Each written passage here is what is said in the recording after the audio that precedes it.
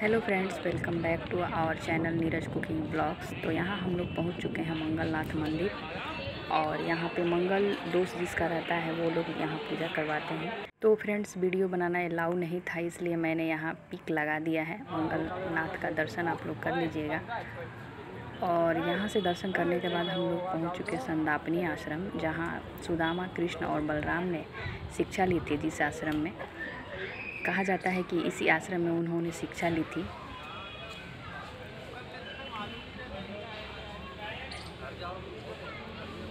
और यहाँ हम लोग चल रहे हैं गोमती कुंड। जैसा कि आप लोग पढ़ पा रहे होंगे, गोमती कुंड ये है। ऐसा कहते हैं कि गुरु संदापनी व्यास अपनी योग विद्या के द्वारा गोमती नदी में स्नान आदि के लिए द्वारिका नगरी जाया करते थे। तो भगवान श्री कृष्ण की आत्मा को बड़ा ही कष्ट होता था कि गुरुवर को प्रातः इतनी दूर स्नान के लिए जाना पड़ता है। तब भगवान श्री कृष्ण ने अपनी शक्ति से गोमती गंगा का जल इस सरोवर में प्रवाहित किया। वहाँ बहुत बड़ा जलाशय बन गया, जिसे गोमती कुंड का नाम दिया गया। ये कुंड 125 फीट गहरी है और इसमें से जो पानी निकलने का स्रोत है, वो, वह गौमुखी है। नीचे गाय का मुख है और उसके मुख से पानी आता है। भगवान श्री कृष्ण के आशीर्वाद से यह कुंड आज तक नहीं सूखा, इसमें पानी सर्वदा रहता है। तो आपने वीडियो में देखा होगा कि मैंने कुछ पिक्चर भी लगाए थे अपनी फैमिली पिक की आई होप आप सबको पसंद आएगी। तो वहाँ से दर्शन करने के बाद हम लोग पहुँच चुके हैं महाकाल का मंदिर। तो फ्रेंड्स ये है कॉरिडोर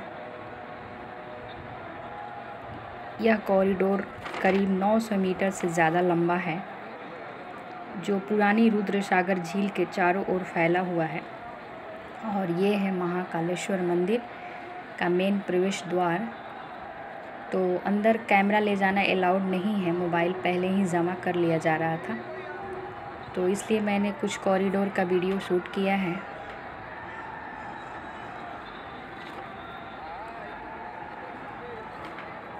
आई होप आप सबको पसंद आएगी ये वीडियो।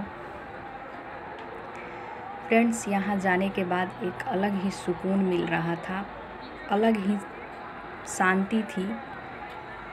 बहुत बहुत अच्छा लग रहा था। ऐसा लग रहा था जैसे साक्षात भगवान जी का दर्शन हम लोगों ने किया। यहाँ बच्चों का खेलना शुरू हो गया है।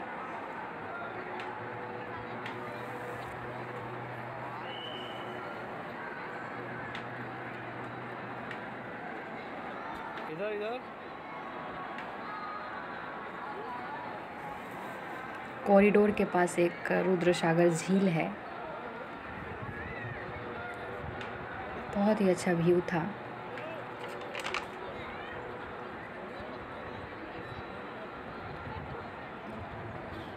तो फाइनली हम लोग अब दर्शन के लिए जाएँगे और कैमरा को करेंगे ऑफ़ जब हम लोग दर्शन करके आएँगे, तब मैं वीडियो आपको शूट करूँगी बाहर का तो कुछ व्यू दिखाऊँगी।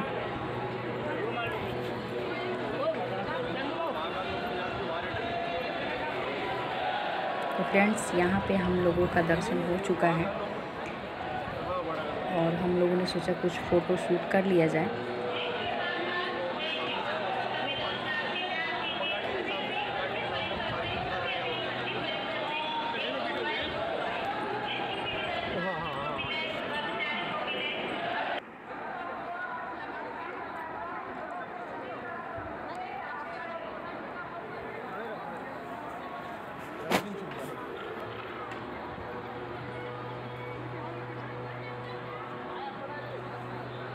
यहाँ बहुत बड़ी बड़ी मूर्तियाँ बनी हुई थी।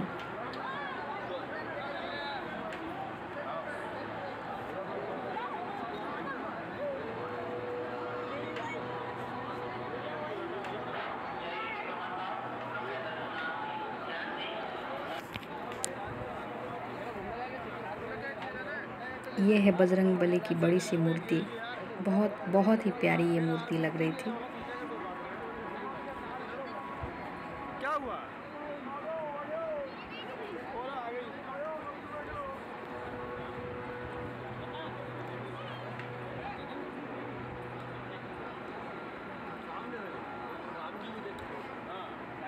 कॉरिडोर बहुत लंबा है।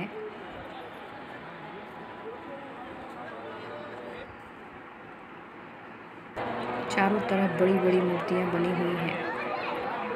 और ये मूर्तियाँ रात में देखने में बहुत ही प्यारी लगती है। मैं कुछ रात का वीडियो दिखाऊँगी आपको।